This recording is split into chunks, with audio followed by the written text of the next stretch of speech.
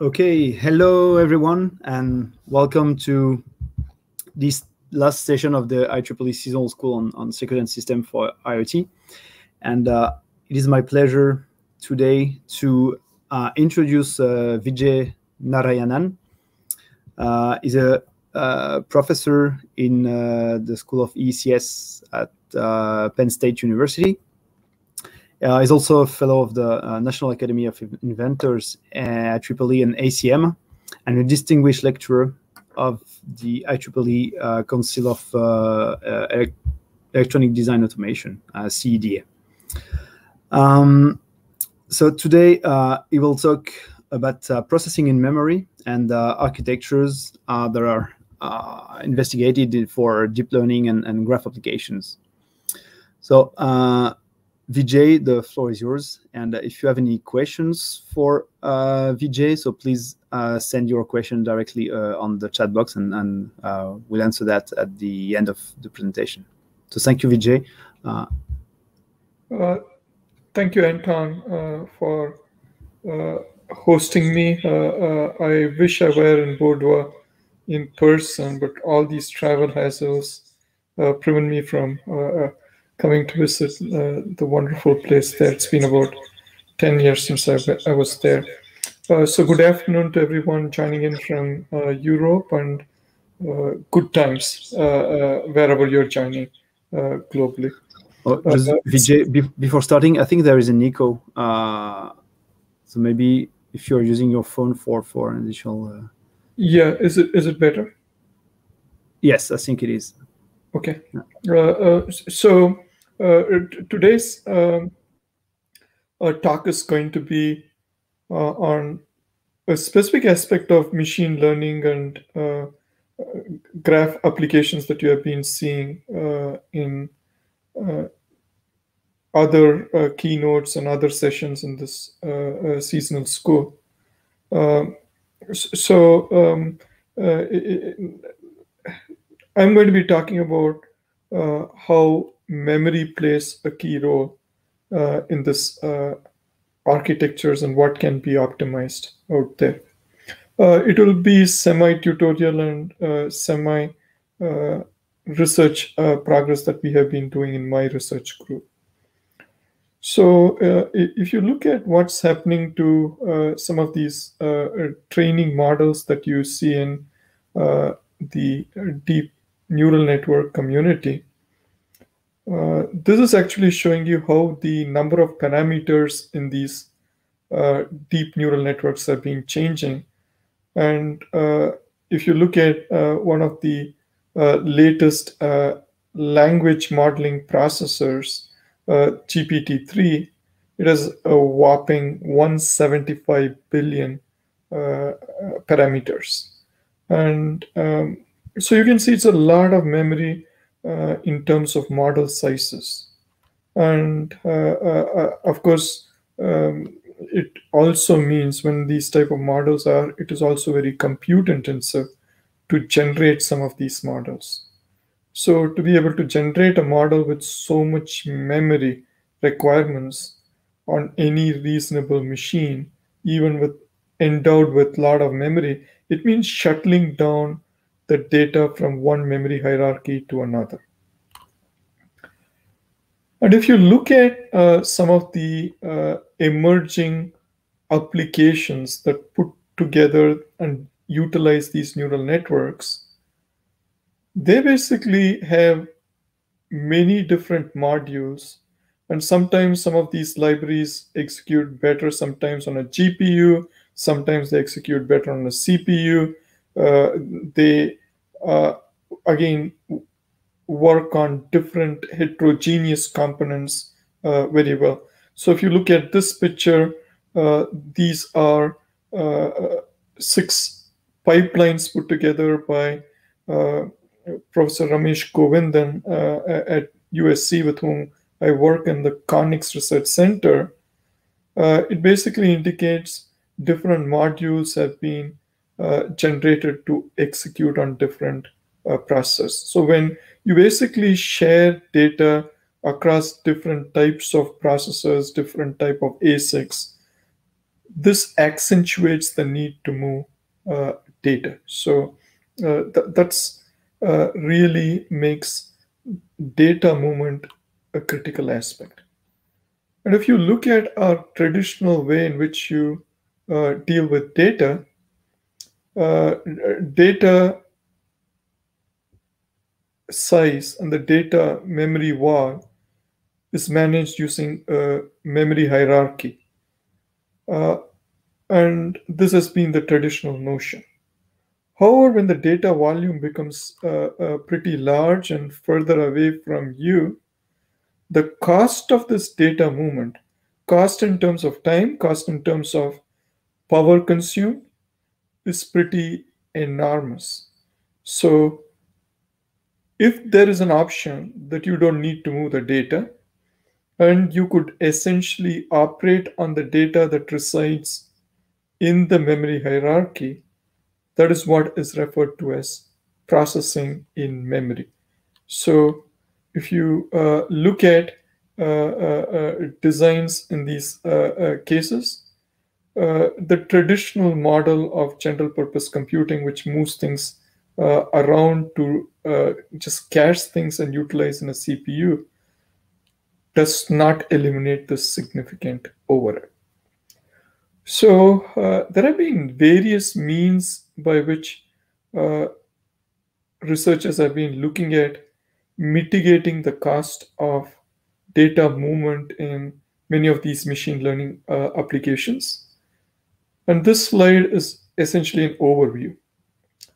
So uh, the first uh, on the leftmost uh, corner, if you can see my mouse, refers to once a data is brought into the processor, you leverage parallelism and data flow optimizations in a specific ASIC or FPGA to be able to do this well. Shifting from that type of a traditional viewpoint of accelerators, if we move into leveraging data that's typically stored in a cache and you operate on the cache directly, then that's called as compute and cache architectures. And there have been various approaches uh, like integrating a cache on top of a processor using 3D technology, integrating uh, compute elements in an array architecture, uh, in the sub-bank level of uh, SRAM memories. So those have been different techniques. A more recent trend is actually embedding uh, compute into uh, the DRAMs, uh, uh, which is actually adding processor cores into the DRAM. And one of the early efforts with regard to integrating processors and DRAMs actually originated from a European company uh, and was in hot chips a couple of years back. But uh, uh, recently this year, even a mainstream provider like Samsung showcased a design which integrated processors uh, at the sub-bank level, and we'll look at it a little more detail. And again, the goal here is uh, to leverage extensive parallelism by uh, computing on multiple DRAM banks concurrently and also avoiding the data movement from the DRAM to any external memory. Uh, one category of uh, uh, memory that has had a lot of uh, research done has been in the notion of these cross-point memory architectures built off things like resistive RAMs, ferroelectric RAMs, MTJs. So these essentially have served as a a, a wonderful primitive for intrinsically computing uh, multiply accumulate that is predominant in uh, machine learning applications. And we'll get to see a lot more about it as well. But when you start thinking about data going into a terabyte regime to be operating on it, then uh, you should really start thinking about uh, storage devices like your NAND flashes or even more. So uh, more recently, compute in uh, these uh, storage devices uh, is becoming very interesting. And I'll just refer you to some um, interesting new work emerging Uh, in this. So you can really think about these as smart disks. Uh, uh, so let's look at what are issues and why do we need this in-memory compute? What really motivates this in-memory compute? So now let's, uh, for the time being, even forget that moving data across the memory hierarchy is expensive. Moving data within a single level of memory hierarchy in itself is expensive. And what is being shown here is a 2.5 MB uh, uh, cache, uh, L3 cache in this case, uh, which is organized into multiple slices, 14 slices to be precise, as you see. And they are all connected by a ring-like uh, interconnect. And each one of these slices is in turn divided into banks, and those banks further into sub-banks.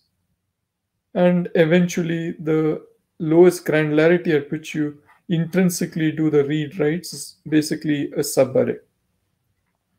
And now if you really think about accessing data from a SRAM and really figure out where is actually the time spent, where is the energy spent, you will realize the effort to move the data from this subarray to the output pins of a cache or a cache module if it's still integrated within the same chip is actually the data movement cost even within this single monolithic L3 unit is pretty significant.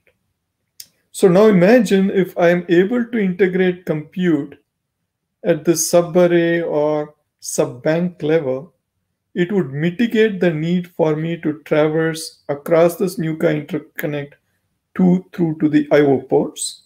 In addition, if I am able to, uh, let's just imagine just the slice level. If I incorporate processing at each one of these slice levels, it starts becoming a massively parallel processor within the SRAM. So that's really the primary motivation for these type of in SRAM compute. One of the uh, uh, approaches, the early approaches that uh, were done was from University of Michigan along with Intel called as Neural Cache. And what they landed up doing is they added logic to the peripheral circuit of these uh, subarrays, which did bitwise Boolean operations and they also cascaded some of these bitwise Boolean operations to be able to do uh, arithmetic operation like a add operation. And what this enabled, as you can see, the key benefit that's coming in from this modification to an SRAM is if you think about compute happening in these red dots, you basically have a bunch of concurrent operations that you can do in these designs.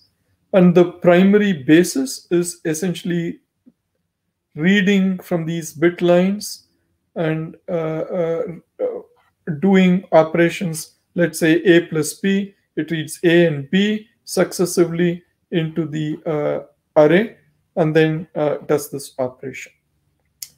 Uh, one uh, issue in this particular type of design is, of course, you're adding uh, additional peripheral logic for the compute, which is impacting the density.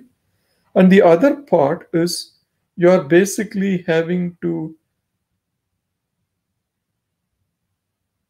charge and discharge these uh, long bit lines for any one of these operations, resulting in uh, some additional uh, energy penalties to access these uh, global lines.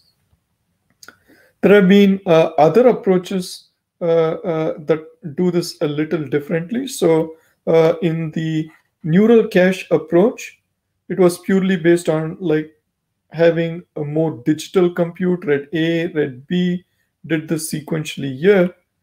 Uh, however, there was an analog version which basically uh, reads multiple rows at the same time. And then you basically have an analog summation of these uh, different values. There is work from uh, uh, Princeton, uh, which landed up doing something similar, Uh, where they basically do a weighted uh, uh, multiplication of all the bits that are stored across a column. And if you let each one of these cells discharge concurrently by activating multiple word lines at the same time, you would be able to do a multiplication or summation of wi wixi's, which is a basic primitive in many of these machine learning kernels.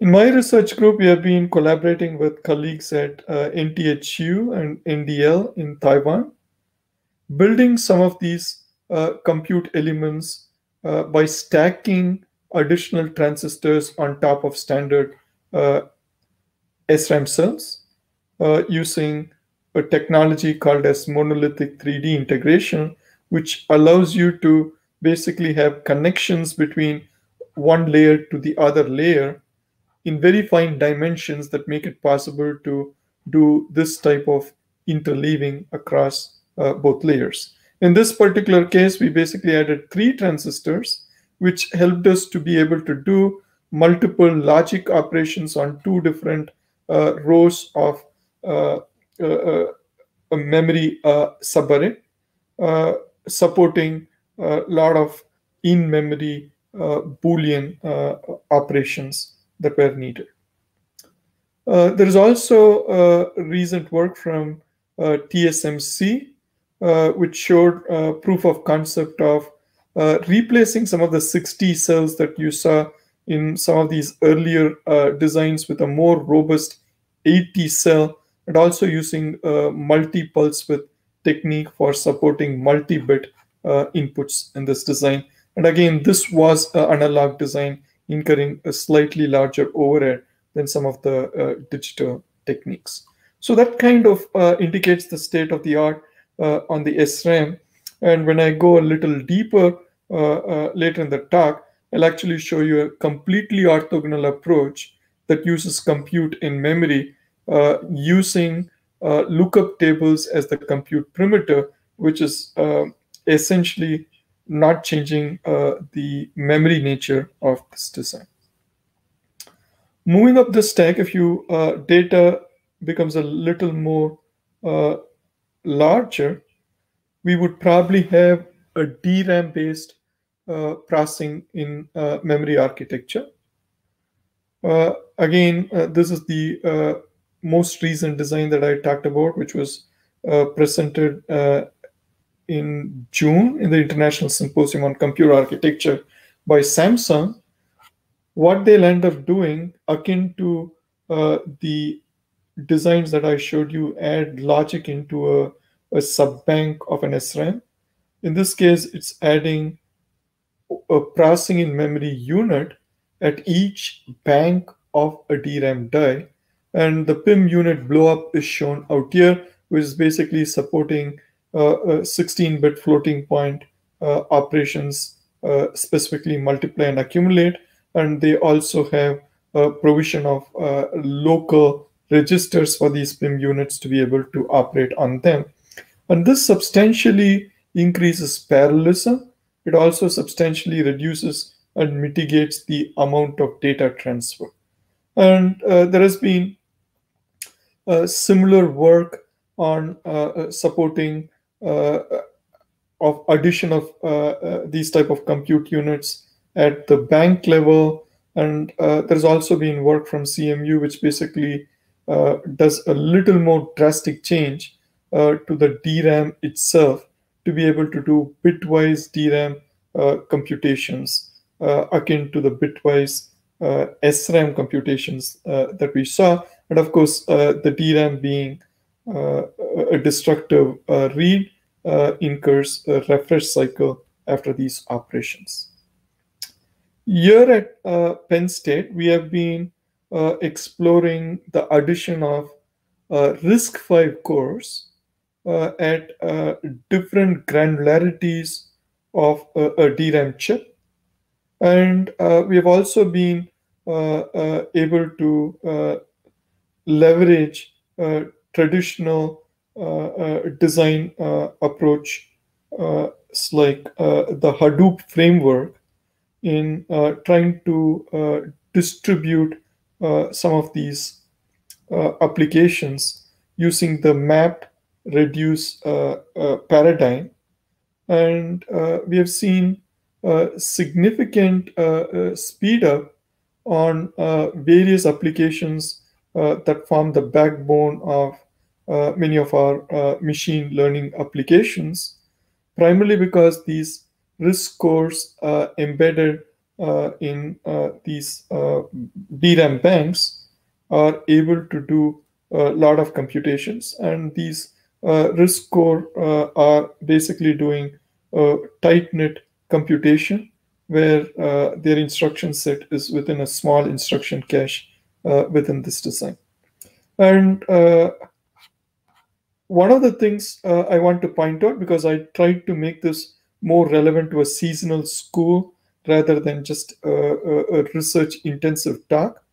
For uh, in these slides, you basically notice uh, references which would provide you a more detailed view uh, of each one of these concepts that I'm basically introducing you uh, right now.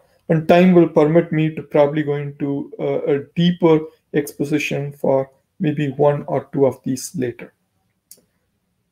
Uh, so moving on, uh, the memory hierarchy stack. Now, if we think about uh, solid uh, state uh, storage flash type designs, this is work from University of Illinois at Urbana-Champaign from Professor Deming Chen and Wen-mei Hwu. What they'll end up doing is basically add these flash controllers for each and every uh, channel uh, of the design. So they basically have these channel accelerators along with this uh, flash controller, which enables you to do computations very close to where the data is done. And they also have, in addition to these channel accelerators, they have a more powerful accelerator that basically aggregates things uh, uh, around uh, all these channels. And um, so this uh, essentially uh, tries and shows uh, how you would have near SSD compute. And of course, um, for some of you are familiar with the open SSD platform, and Samsung also has some uh, prototypes of those type of designs where you actually have an FPGA on your SSD board. You can really think about this to be uh, uh, more specialized uh, designs.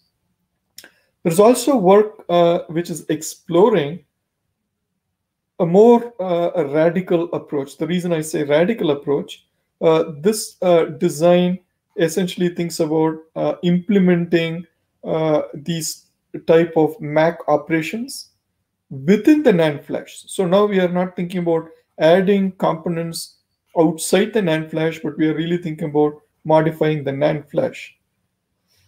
Of course, uh, this part has a um, lot of uh, challenges because uh, NAND flash currently is driven uh, by densities and our ability to uh, in continue increasing uh, density. So any modifications that brings in compute to these that have implication on density are a, a, serious compromise of uh, things that are driving uh, its uh, sales right now. So while this work from University of Minnesota did these modifications to a NAND SIM, these are still to see commercial uh, acceptance for those type of changes. Another layer of uh, uh, exploration that we are doing here at Penn State at the uh, hard disk level is to actually make very simple changes to uh, the uh, FTL software layer uh, so that it's able to run uh, this FTL and manage some of these uh, video indexing for very large videos uh, within the SSD. So we can carry out a lot of filtering operations on a lot of this large volume data that you're trying to do the analytics right within the SSD without having to stream that video data to a host or a external accelerator. And uh, again, uh, this would need to be uh, a complete talk in itself. Uh, uh, so these are just teasers to kind of tell you what are opportunities. And again, one aspect that I would like to emphasize, many of these opportunities are really a combination of hardware, software systems that come into play uh, with a good knowledge about the target application that you are uh, trying to optimize. And uh, the last overview aspect that I'm going to provide you is at the level of uh, some of these emerging crossbar arrays, uh, which land up uh, trying to basically store the weights at the cross points and then think about the activations coming in uh, as uh, different rows and summation across the columns essentially provides the MAC operation. And recently there are uh, commercial offerings of these type of uh, cross-point architectures like Mythic uh, that are uh, occurring in real world. So before I um, jump into a detailed depth of two specific uh, applications. One, uh, which is a lookup table based uh, design leveraging SRAMs, and another one which would basically look at an entirely different type of deep networks based on graph analytics. Is there a pressing question that anyone has? Mm, uh, Anton, if you can read any of those questions, that would be helpful if you do get anyone. I will continue to take questions at the very end as well. So if I don't get an interruption, I'll assume there are no questions and I'll move on. Okay. If there are questions, please uh, type them. I'm happy to answer them at any point of time. Uh, but let's uh, go deeper uh, into this uh, lookup table based energy efficient cache support. this is work was done in collaboration with the Intel Bangalore team. And um, this motivation uh, stem from uh, other aspects that I showed you. So if you start thinking about some of these analog SRAMs, then it needs modifications to the analog to digital converters, which are doing summation from many SRAMs. And the challenge with any analog component for people who have done design, they change the reliability robustness profile, especially with all the uh, PVT variations that are done.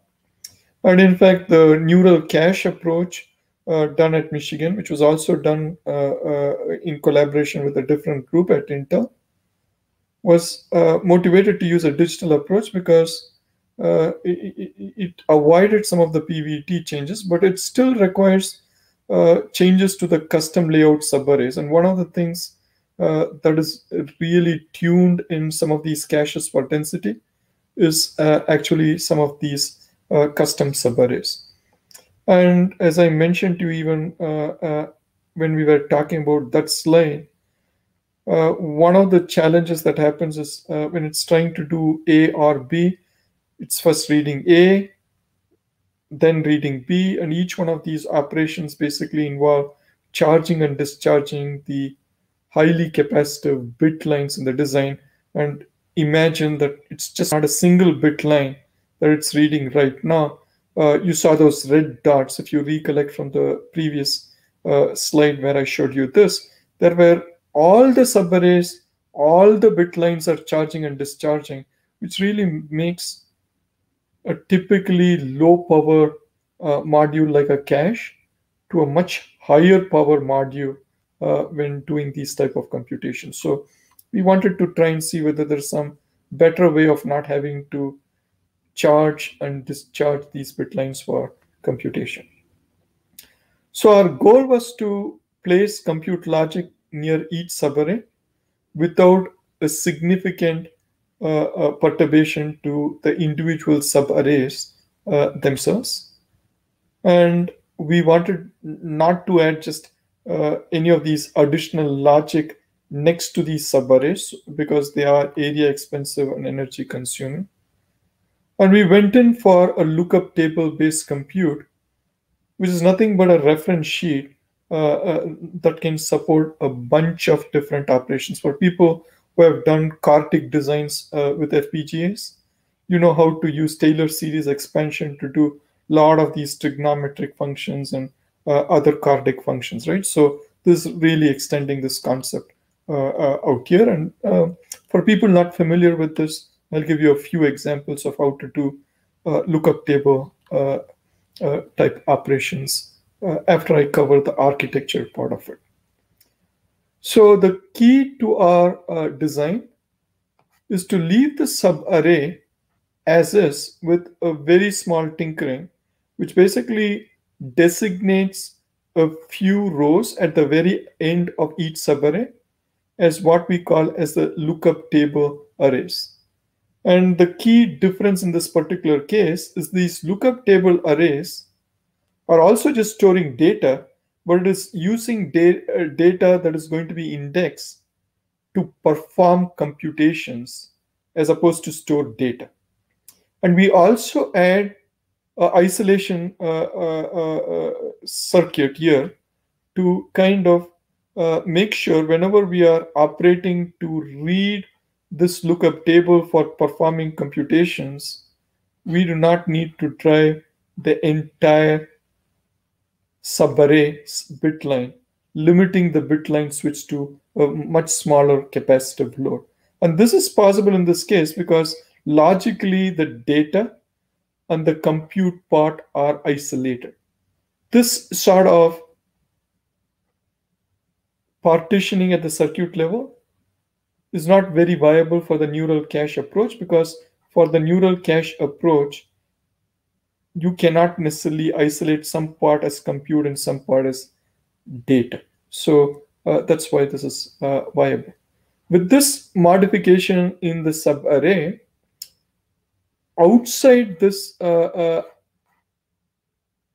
subarray partitions, we add a compute uh, engine out here, which is called as the bitline free compute engine because we do not make use of the bitline charge and discharge. That's the reason why it's called as the bitline free compute engine.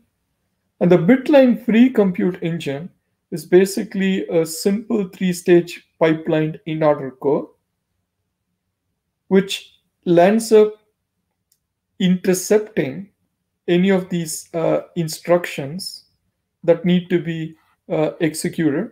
So rather than actually have uh, instruction come externally from the CPU, access data, return the data to the CPU, now what we do is we basically prime this BCE to do a sequence of operations.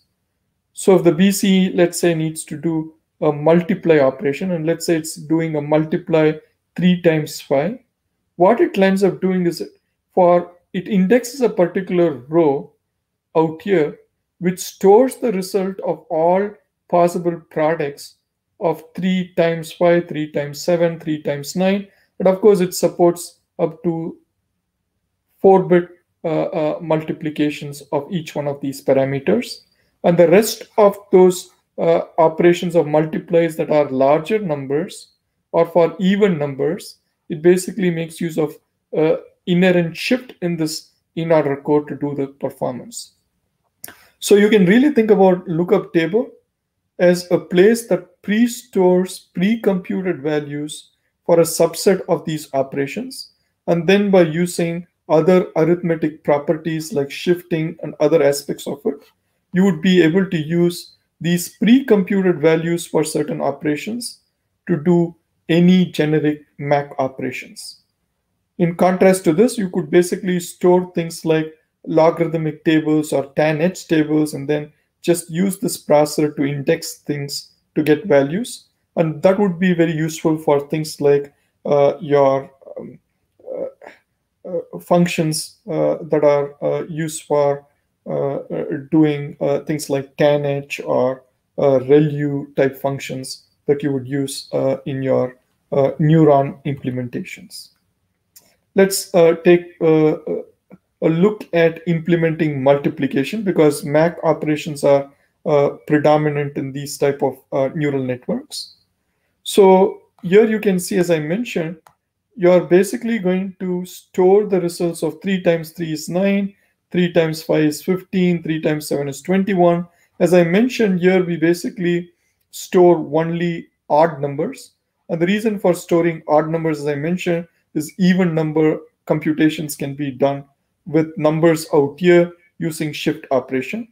So if you are doing any multiplication with one operand 7, what happens is the BCE indexes into the lookup table, fetches these values, and then it also knows it's doing 7 times 15. Then it would basically offset this, index this, get this value. And this is basically showing you the time sequence that it is uh, operating on to get uh, particular uh, operations being done. And uh, you could also do a bunch of them concurrently in all the different LUTs across these uh, subtimes. And uh, this is showing you for 4-bit operands, you could do multi-bits by kind of fusing these things or doing a shift operation. So this is really the basic uh, core concept of this uh, LUT function. And then you can land up doing uh, scheduling operations on these designs so that when you fetch a particular data, and uh, remember the data part of it is within the uh, uh same cache array, uh, uh, and you would then traverse the input bit of one of these bit streams to be able to do these matrix multiplication A00 with all the columns, then A01 with the next column. So you basically also have a partial uh, uh, output register within this BCE, which could basically accumulate the results uh, uh, across these uh, designs. And having these type of uh, design flow optimizations Uh, provides you uh, a significant uh, speed up for these computations. Going beyond MAC, MAC operations where uh, uh, the multiply operations were pretty easy for you to do. Uh, here, here is how you would do things like activation functions, tanh or exponential type functions.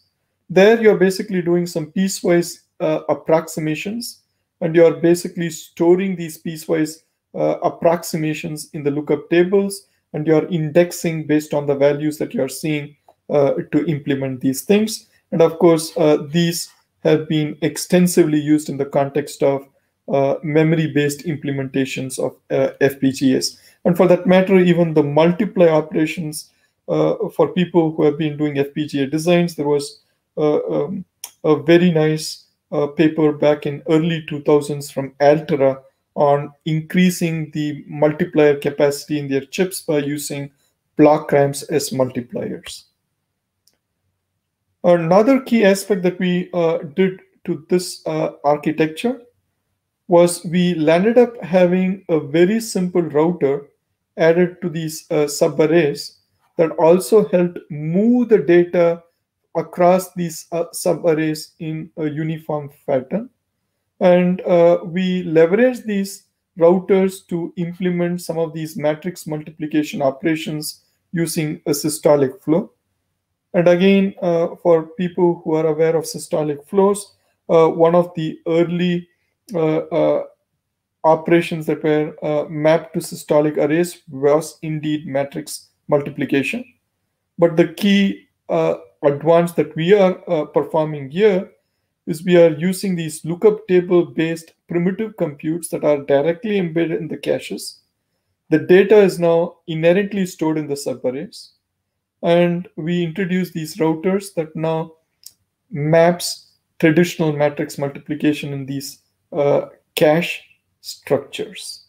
So uh, you are now able to utilize this memory either to do a convolution mode or a matrix mode by basically articulating how things are stored in the subarrays to begin with and how you move them using these uh, uh, subarrays. Um, so the overall uh, uh, design in this particular case works with the notion you have a CPU that has a large cache and makes sense when you start thinking about a company like Intel, correct? Because they are really still driving a lot of their performance based on CPUs, but they land up using large L3 caches for some of these CPUs. When you need to use this neural network components, what you'll end up doing is you switch the cache from a normal cache mode to a accelerator mode. You load all these LUT entries into the cache the rest of the data can be loaded again, or you could reuse some of the data that remained within the CPU based on what your operation is. You configure the instructions to each one of these slice controllers uh, uh, out there. Then the cache and slice controller work with these bit-free compute engines that are massively parallel at each one of these units. And they are able to do not bit serial operations, but they are able to do bit parallel operations in this particular case, unlike the neural cache, because all you're doing is reading an LUT, adding things or whatever. So that is uh, another option that's being done out here. I will not emphasize on the results part because uh, it's the concepts that matter. And you can actually go and read these papers to say the desired impact in terms of performance and energy efficiency was achieved when running uh, different type of uh, uh, networks and uh, varying these networks and varying the precision and then uh, having a different type of memory to which this SRAM uh, interfaces. Is it a DRAM, an embedded DRAM, or an HBM? And one thing that you notice out here which kind of motivates the other aspects that we say, even though we did a lot of these computes within the SRAM and obviated the need for the SRAM data to move into the CPU, even for this SRAM based accelerator, the DRAM data movement, the DRAM bandwidths have a significant role. So you can see the time when we use a much higher bandwidth uh, memory like an HBM does still make an important part, which also comes back and motivates the need. Hey, if there is another level of compute in the DRAM, that would also uh, uh, uh, be helpful. And uh, the question of if you have processing in memory at different levels of memory hierarchy, where should it be done is still kind of an open question the last uh, uh, few minutes of this uh, talk, I will probably just introduce you to a very recent work, uh, which is going to appear in uh, ICCAD later. But just to give you a flavor, when we start thinking about uh, processing in memory, Uh, the type of operations are important and where you do it is important. So I'm basically now going to move from an SRAM to one of these cross-point memory architectures and highlight that when you deal with a new workload like a graph convolution neural networks, it impacts the primitives that you need to design. So there is new type of primitive accelerators that you need. And also uh, the application matters a lot. So uh, when you start thinking about graphs, you can basically think graphs are stored in a very simple, uh, a simplistic format, and then you can show a lot of performance improvement. But storing the graphs in the real way that they're stored in a compressed format uh, in uh, real world applications and then translating them to success is a totally different thing. So these interactions are what I would kind of tease you in 10 minutes. I may not be able to do everything, but I will at least uh, provide you some insights. But to understand that, let's kind of understand what a graph convolutional neural network essentially means.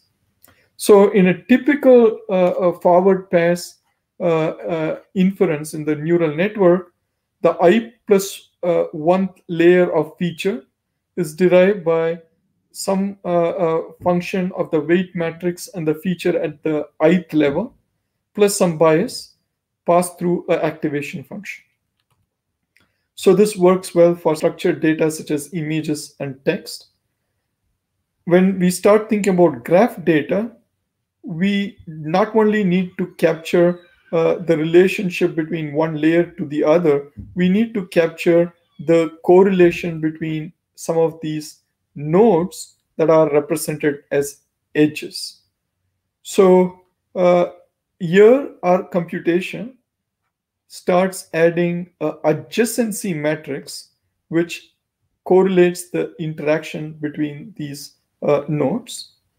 And these uh, adjacency matrix are typically sparse and they come as coordinate lists or uh, uh, in the uh, compressed row format or the compressed uh, column format out here. And the basic operation that we are doing is we are transforming the feature using the adjacency matrix and the features that are aggregated together with a corresponding uh, bit. So let's look at uh, uh, a citation graph. Uh, maybe someone is already doing analysis. He's giving me all this talk. Let's look at some of the references that he made. Then you're going to see some things like these citation graphs. Each node is a paper, gets information of this, the topics that they do, and the task may be to predict the category of uh, unknown paper D just based on the links uh, that uh, exist between these topics. So many of these graph convolutional neural networks are doing some of these citation graphs like things from the medical uh, publication or the dataset Colab or uh, this Reddit. One of the key things to note in this particular case is the edge edges or uh, uh, uh, features are not as substantial as the node features, right? So in absolute volume. So these are really node centric in terms of the amount of uh, data volume stored in some of these uh, graph uh, convolutional networks. And many of the prior designs that work with CNNs were more edge centric uh, uh, uh, designs, kind of making you deal with it. So now, if you think about a more simpler example, which is four nodes, knowing that you have in a real design, you have lots and lots of these vertices and edges, uh, while more edges, typically the vertices have a lot more information associated with them. So if you really think about uh, the feature aggregation stage, each node basically has these uh, uh, features. You add uh, all these features together from uh, the different nodes, and then uh, the obtained aggregated feature goes through this matrix uh, multiplication uh, to kind of give you a new transform feature. So this is the primitive operation these graph convolutional networks do. But the key aspects here from efficiency perspective is the sparsity of all these graph operations and the need to store these graphs in compressed format. So when you think about uh, these uh, cross-point memory architectures, the MAC operation is typically performed by basically distributing the weights to each and every node. But in an adjacency matrix where a lot of these things are not going to be utilized because they are zeros, it is an inefficient use of your crossbar architecture, right? So this is the perimeter that is typically supported. So if everything is in a dense uh, uh format, then uh, there are going to be a lot of zeros that are present. So this uh, simple MAC operation supported by all these prior approaches is not going to be uh, sufficient. So there were two operations that we added. Uh, one is a ternary uh, CAM-like function to search what is the value so that we can basically uh, compare values and uh, exactly and then we also had a, a, comparison operation, which basically told you whether the value was within a certain range. And this operation is really helpful when you start traversing uh, the compressed domain operation. And uh, maybe given that I'm running out of time, this may be a good place for me to kind of fast forward uh, some of the slides, but kind of focus on this aspect. While we knew that this was a primitive, maybe most of you knew this coming in if you have seen any type of uh, uh, machine learning accelerator, but you would be surprised that uh, a very simple modification to the same camps uh, uh, to the same cross-point architecture can also introduce this functionality of uh, providing a CAM or an associative memory type match as well as a range comparator to support uh, some of these operations. And when you add these two types of functionality, it lands up helping you operate on a very new type of uh, sparse graphs that are prevalent in some of these uh, graph neural networks. So, uh, for example, in this Colab benchmark, uh, our matrix uh, A is 372 by 372 and our feature map is much uh, larger. And uh, A is a large sparse matrix and only 0.01%, yes, it's 0.01% of edges are 1. So feeding A as input directly to FI is extremely wasteful, right? Because of the zero computes. So what we want to do is transform uh, this opposite, uh, uh, feed in the features uh, to A and do these type of transformations.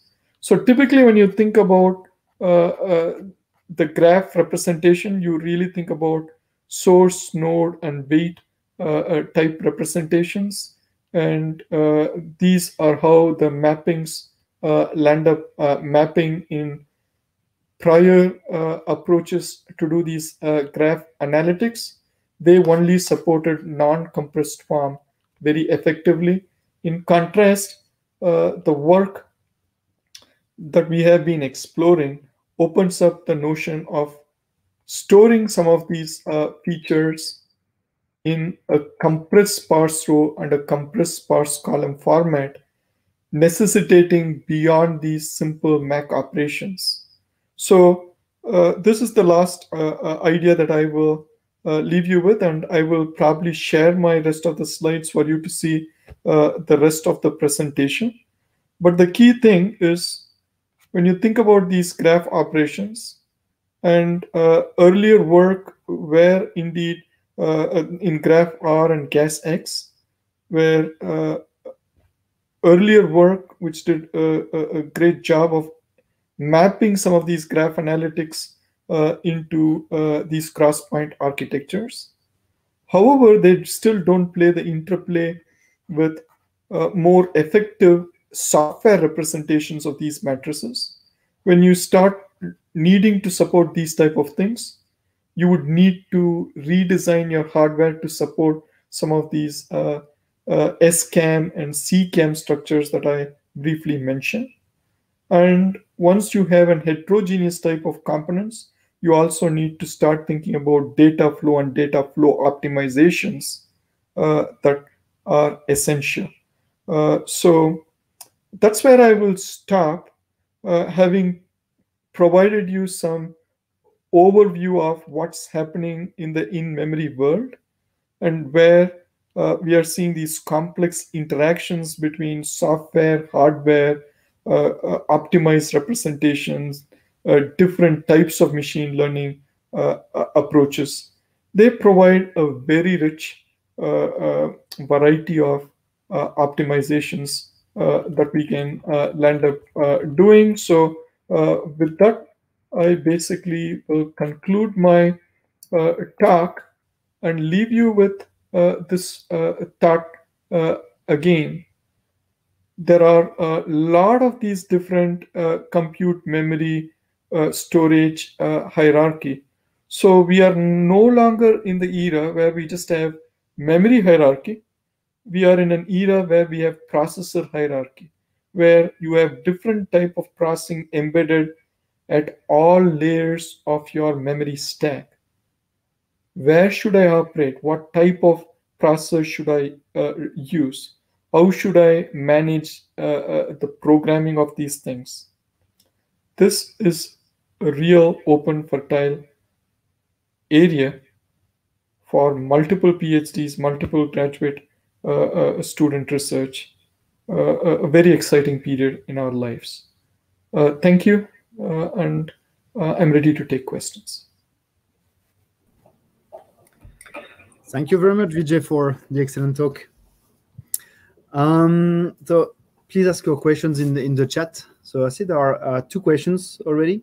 Uh, first question is from uh, Juan Pablo Martinez Brito.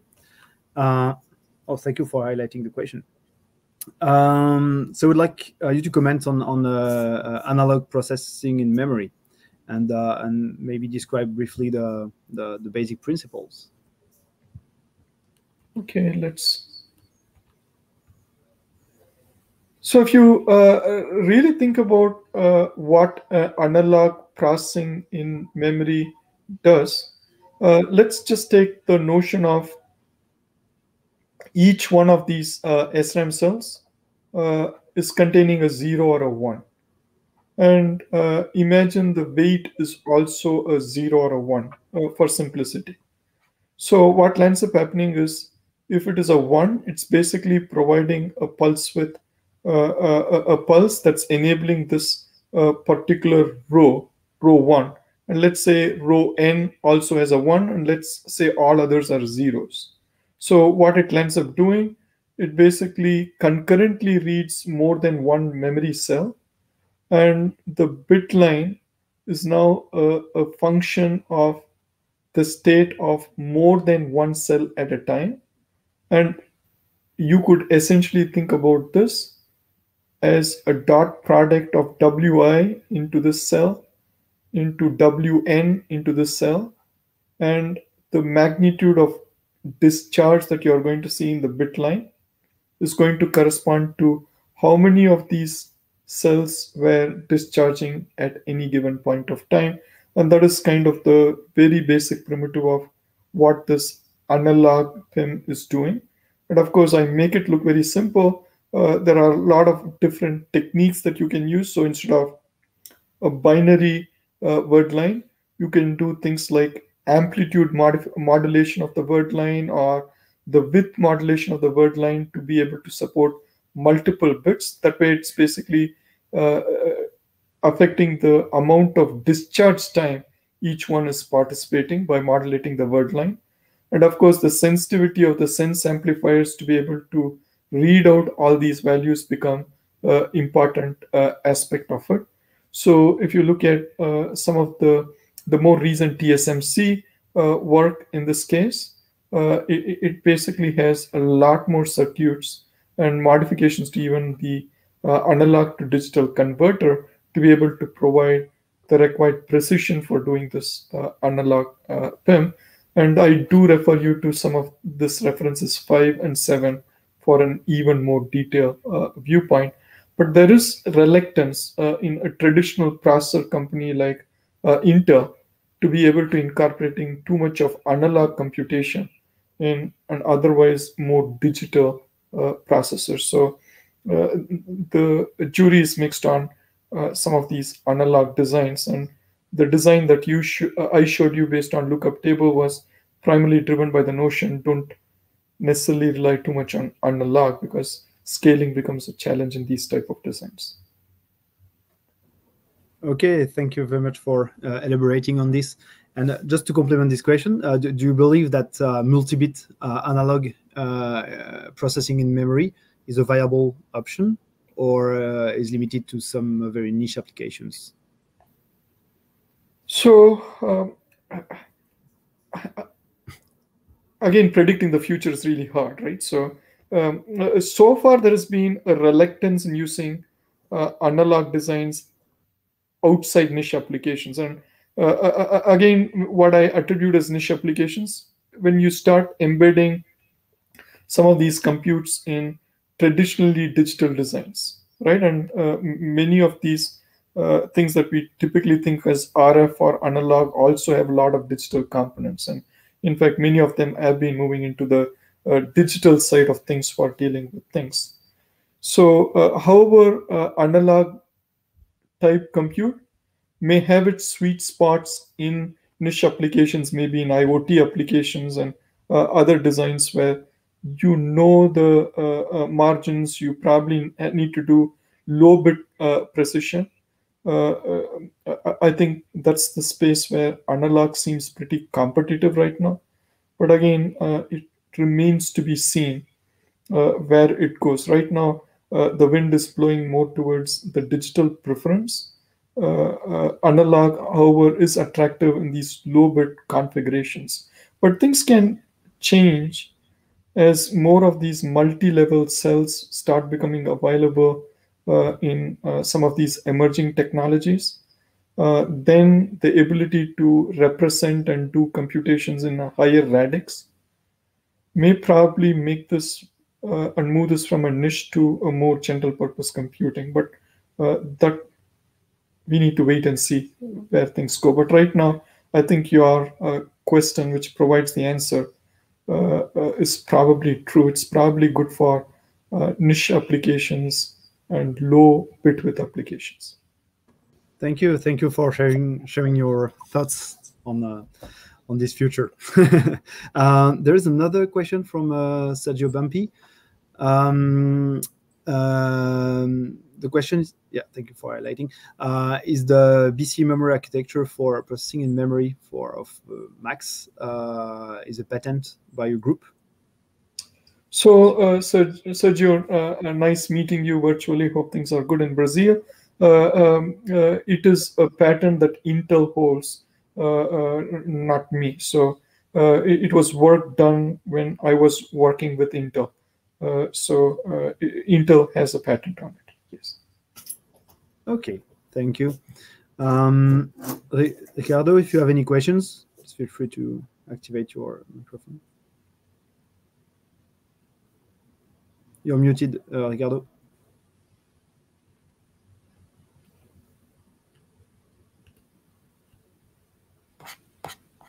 No, uh, Ricardo, we cannot hear you. Uh, so, yes. Uh, so as you can see, the question, I would like to see if uh, Vijay can do some comments about uh, the power consumption of this approach. So uh, one of the fundamental drivers uh, uh, uh for uh, this, so uh, let me actually use this uh, slide as an example.